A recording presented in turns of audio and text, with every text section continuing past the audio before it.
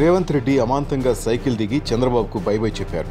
అంతేకాకుండా పార్టీ సభ్యత్వంతో పాటు ఎమ్మెల్యే పదవి కూడా రాజీనామా చేశానని చెప్పి స్పీకర్ ఫార్మెట్లోని రాజీనామా లేఖను చంద్రబాబు వ్యక్తిగత సహాయకుడికి విజయవాడలోనే అందజేశానన్నారు. ఆ తర్వాత రేవంత్ రెడ్డి ఆయన అనుచరులు ఢిల్లీ వెళ్ళి రాహుల్ సమక్షంలో హస్తం గుటికి చేరారు. అయితే ఇంతకీ రేవంత్ రెడ్డి ఎమ్మెల్యే పదవికి రాజీనామా చేశారా? లేదా? ఓవేళ రాజీనామా చేస్తే ఆ లేఖ ఎక్కడుంది అనే విషయం ఇప్పుడు అంతు చిక్కిన ప్రశ్నగా మిగిలి తెలుగు ప్రజల మెదడును తొలుస్తోంది. అదీ కాకుండా తెలంగాణ టీడీపీ అధ్యక్షుడు ఎల్ రమణ మీడియాతో మాట్లాడుతూ రేవంత్ అసలు రాజీనామా చేయనేలేదని చెప్పారు. రేవంత్ రెడ్డి రాజీనామా చేస్తే ఆ లేఖను తెలంగాణ అసెంబ్లీ స్పీకర్కు పంపాలి. కానీ చంద్రబాబు వ్యక్తిగత సహాయకుడికిచ్చి రావడమేంటని తెలంగాణలోని పలువురు టీడీపీ నేతలు ప్రశ్నిస్తున్నారు. అందుకు రేవంత్ రెడ్డి సన్నిహితుల నుంచి వచ్చే సమాధానం మాత్రం మరోలా ఉంది. ఎన్నికల్లో పోటీ చేసేందుకు బీఫామ్ ఇచ్చింది చంద్రబాబే కనుక రాజీనామా లేఖను కూడా ఆయనకే రేవంత్ అందించారని వారు చెప్తున్నారు. పోనీ రేవంత్ ఆ రాజీనామా లేఖను వ్యక్తిగత సహాయకుడు చంద్రబాబుకు అందించారా? అందిస్తే అది తెలంగాణ స్పీకర్కు పంపారా? అనే విషయంపై క్లారిటీ లేదు. తెలంగాణ అసెంబ్లీ స్పీకర్ కార్యాలయ అధికారులు మాత్రం రాజీనామా లేఖ తమకు రాలేదని ప్రకటించారు.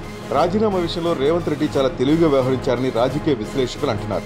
ఒకవేళ రేవంత్ రాజీనామా చేస్తే ఆయన ప్రాతినిధ్యం వహిస్తున్న కొడంగల్కు ఉప ఎన్నిక అనివార్యమవుతుంది. లోగడ నారాయణ ఖేడ్ పాలేరు నియోజకవర్గాల్లో కాంగ్రెస్ ఎమ్మెల్యేలు అనారోగ్యంతో మరణించినప్పుడు జరిగిన ఉప ఎన్నికల్లో టీఆర్ఎస్ ఘన విజయం సాధించిన సంగతి తెలిసిందే. ఇప్పటికైతే కేసీఆర్ కారు యమ స్పీడ్తో దూసుకుపోతోంది.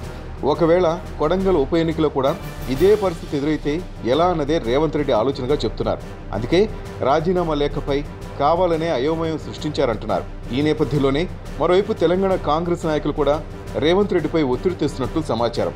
అందుకే ముందు చూపించిన ఊపు ఉత్సాహం రాజీనామా లేఖను ఆమోదింపు చేసుకోవడంలో చూపించకుండా రేవంత్ కాస్త వెనక్కి తగ్గినట్లు సమాచారం. రాజీనామా ఇస్తే దాన్ని స్పీకర్ ఆమోదిస్తే ఉప ఎన్నిక వస్తే మాత్రం రేవంత్కు పోటీగా కేసీఆర్ కేటీఆర్ ప్రచారం చేయవలసిన అవసరం లేదని టీఆర్ఎస్ నాయకులు చెప్తున్నారు. రేవంత్ను సులువుగా ఓడిస్తామని వారు ధీమాగా చెప్తున్నారు. అసలు చిత్తశుద్ధి అంటూ ఉంటే మొదట రాజీనామా లేఖను ఆమోదింప చేసుకోవాలని రేవంత్కు సవాల్ విసురుతున్నారు. మరి రేవంత్ ఎలా స్పందిస్తాడో వేచి చూడాల్సిందే.